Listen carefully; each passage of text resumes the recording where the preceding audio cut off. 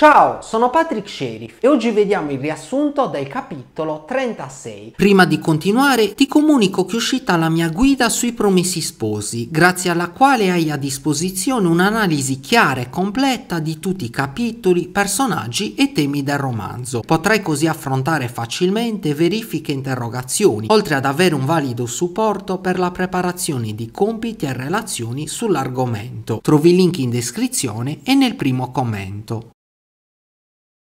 Renzo si dirige verso la processione dei guariti ed è in ansia per Lucia ed è anche preoccupato per la sorte di Don Rodrigo. Giunto nei pressi della cappella vede padre Felice nel portico e Renzo subito inizia a passare in rassegna i volti delle persone senza però trovare Lucia. A questo punto rivolge la sua attenzione all'ultima parte della predica di padre Felice. Padre Felice si rivolge ai guariti che sono radunati davanti a lui e dice che il cimitero di San Gregorio è ormai divenuto un'immensa fossa comune in quanto tantissime persone sono state uccise dalla peste e inoltre ci sono ancora tantissimi malati che sono ancora sdraiati nei loro letti soffrendo a causa delle piaghe del morbo. Padre Felice Casatti dice ai presenti che loro fanno parte di quella piccolissima schiera di guariti e per questo devono ringraziare Dio, in quanto Dio attraverso la sofferenza della peste li ha corretti, li ha messi sulla retta via e gli ha fatto capire che la vita è un dono prezioso. Dopodiché dice di uscire da Lazzaretto con contegno, senza dimostrare una gioia sfacciata, in quanto ci sono ancora tante persone che soffrono e una volta fuori dal lazzaretto loro che sono guariti dovranno cominciare una nuova vita nel segno della misericordia e della carità cristiana. Tutti ascoltano e osservano in silenzio padre Felice Casati il quale a questo punto si inginocchia e si pone una fune attorno al collo, dopodiché chiede perdono ai presenti qualora lui o i frati cappuccini non avessero svolto alla perfezione il loro dovere a causa della noia, del fastidio o della stanchezza. Tutti i presenti sono commossi a sentire queste parole. Dopodiché padre Felice Casati si rialza in piedi e fa il segno della croce verso il suo uditorio e poi benedice tutti quanti. A questo punto padre Felice Casatti erge sopra di sé una grande croce e a piedi scalzi scende in mezzo alla folla, guidando così l'inizio della processione. Renzo, che ha ascoltato tutta la predica restando vicino ad una capanna, è commosso dal discorso di padre Felice e quando il corteo passa davanti a lui osserva con attenzione tutti i volti delle persone che gli passano davanti. Il corteo dei guariti è aperto da padre Felice Casatti, seguito dai ragazzi più grandi e dalle donne, alcune delle quali hanno per mano una bambina e recitano il miserere. Renzo guarda con attenzione i volti delle donne, ma non vede Lucia. Poi passano gli uomini e infine dietro di loro vi è un carro sopra il quale vi sono i malati ancora convalescenti che non hanno la forza di camminare da soli. E infine, a chiudere il corteo, è un frate cappuccino, padre Michele Pozzobonelli, l'aiutante di padre Felice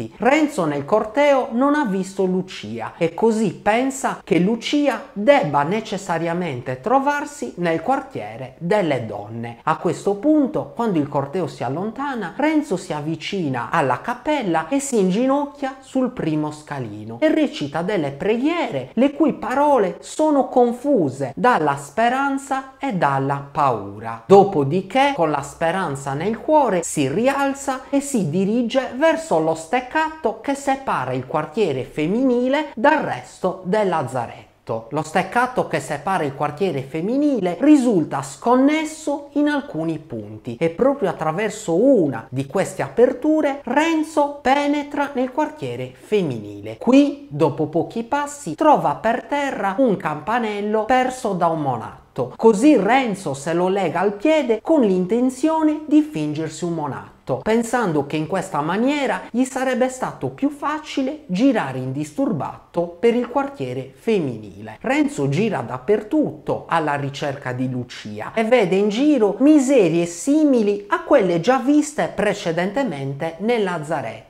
queste miserie sono simili a quelle viste in precedenza, ma anche diverse per il diverso modo di patire e di sopportare le sofferenze. Un commissario vede Renzo e lo scambia per un monatto, così gli dà degli ordini. Renzo risponde con un cenno e immediatamente pensa che il campanello potrebbe dargli più problemi che benefici. Così si infila tra due capanne, si inchina e comincia a slegarselo dal piede. Mentre svolge questa operazione, da una parete gli pare di udire la voce di Lucia. Immediatamente, toltosi il campanello, Renzo si fionda all'uscio della capanna e al suo interno trova proprio Lucia. Lucia è inchinata su un letto assistendo una malata e quando si volta vede Renzo e Lucia resta attonita e ha un'esclamazione di stupore. Renzo è tremante e felice per aver trovato Lucia e dopo essersi salutati immediatamente Renzo gli dice di aver contratto la peste e di esserne guarito e poi gli dice anche che Agnese è viva. Ma Lucia chiede immediatamente a Renzo per quale motivo sia venuto a cercarla visto che sa della storia del voto voto. E a questa domanda Renzo risponde che il voto non è valido perché la Madonna non permette di fare promesse che arrecano danno ad altre persone. Poi dice che basterà dare alla loro prima figlia il nome di Maria come segno di devozione alla Madonna. E infine aggiunge che il voto non è valido perché infrange la promessa precedente di matrimonio che loro due si erano fatti. Lucia protesta viva vivacemente, ricordando a Renzo le circostanze drammatiche in cui si è trovata costretta a pronunciare il voto. E a questo punto il ragazzo le chiede se i sentimenti nei suoi confronti sono rimasti immutati fatti. E Lucia dice che Renzo non ha cuore perché vuole costringerla a dire parole che la faranno soffrire. Poi Lucia prega Renzo di andarsene e di informare Agnese che lei sta bene, che ha trovato una brava persona che le fa da madre e che presto Lucia e Agnese riusciranno a riabbracciarsi. E infine dice a Renzo di mettersi l'animo in pace. Allora Renzo comunica a Lucia che fra Cristoforo si trova la Lazaretto e che forse è malato e aggiunge anche di aver visto Don Rodrigo e di averlo perdonato fatto è che tornare insieme è proprio l'ideale per la salvezza e il pentimento del loro persecutore. Poi Renzo dice che ha l'intenzione di tornare da Fra Cristoforo e aggiunge che non si metterà mai il cuore in pace, poiché dal momento in cui si sono separati Renzo non ha fatto altro che pensare a lei e che tutte le sofferenze che ha vissuto le ha vissute per lei ma Lucia, imperterrita, dice a Renzo di andarsene e di non tornare più. Questo perché per Lucia la presenza di Renzo è fonte di dolore. Renzo allora dice che andrà da Fra Cristoforo e che tornerà. Dopodiché esce dalla capanna. Lucia cade a terra vicino al lettuccio della malata e scoppia in un pianto a dirotto letto. La donna la guarda con sorpresa e non capisce la situazione. La donna è una mercantessa di circa 30 anni, molto ricca, il cui marito e i cui figli sono stati uccisi dalla peste. La mercantessa è giunta al lazzaretto quando ormai Lucia era in via di guarigione. Così Lucia si è presa cura di lei, l'ha assistita e tra le due donne è nata una profonda amicizia, un affetto così profondo che la mercantessa vorrebbe prendere Lucia con sé come sorella oppure come figlia. Lucia è d'accordo, ovviamente, dopo che avrà sentito il parere di Agnese. Lucia però non ha mai parlato alla mercantessa di Renzo, del matrimonio fallito e della questione del voto e così in questa occasione le racconta tutto tutto. Nel frattempo Renzo è tornato nel quartiere di Fra Cristoforo. Qui il frate sta assistendo un malato e appena terminato Renzo gli dice che Lucia è viva e gli racconta la storia del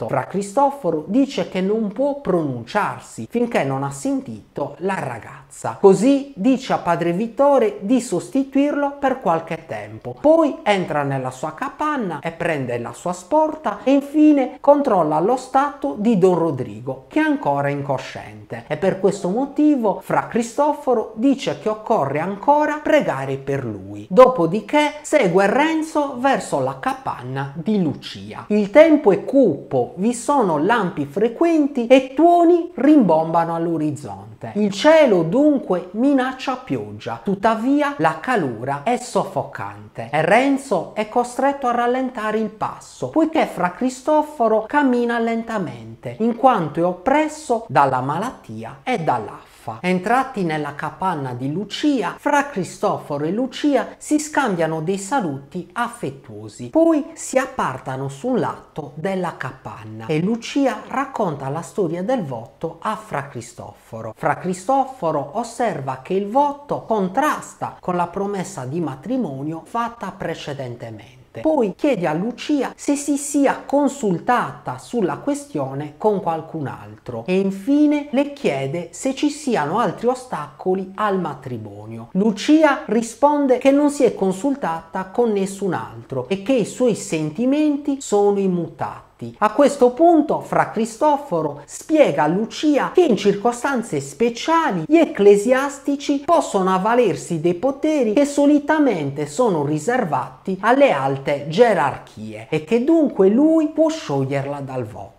Lucia a sentire queste parole è stupita e incredula e soprattutto ha paura di commettere un sacrilegio e poi accetta con il viso rosso di pudore. Allora Fra Cristoforo invita Renzo ad avvicinarsi e davanti a Lucia e Renzo recita la formula per sciogliere il voto, grazie al potere conferitogli dalla Chiesa. Dopo aver sciolto il voto, Fra Cristoforo rasserena Lucia e poi dice a Renzo che la restituzione di Lucia non è una consolazione materiale, bensì l'inizio di una nuova vita che un giorno dovrà finire. E pertanto i loro eventuali figli dovranno essere allevati nell'amore e nella carità di Dio. Poi chiede a loro di pregare per lui e per Don Rodrigo. E a questo punto apre la sporta e tira fuori una scatola di legno che contiene il pane del perdono e dona questa scatola a Renzo e Lucia, dicendo di conservarla e di farla vedere in futuro ai loro figli e di insegnar loro a perdonare le provocazioni che si ricevono gratuitamente in questo mondo. Lucia prende la scatola di legno tra le sue mani come se si trattasse di una reliquia reliquia. A questo punto, Fra Cristoforo chiede a Lucia che cosa avrà intenzione di fare una volta lasciato il lazzaretto. Lucia risponde che si affiderà alla mercantessa, la quale non solo la ricondurrà ad Agnese, ma donerà anche a Lucia un corredo per le sue nozze. Dopodiché Fra Cristoforo invita Renzo ad andarsene. Renzo e Lucia così si salutano e prima di separarsi Lucia prega Renzo di informare al più presto Agnese. Dopodiché fra Cristoforo e Renzo escono dalla capanna. Ormai è quasi sera e un forte temporale si preannuncia all'orizzonte. Renzo rifiuta l'ospitalità di Fra Cristoforo poiché vuole tornare il prima possibile da Agnese ed avvisarla di quanto accaduto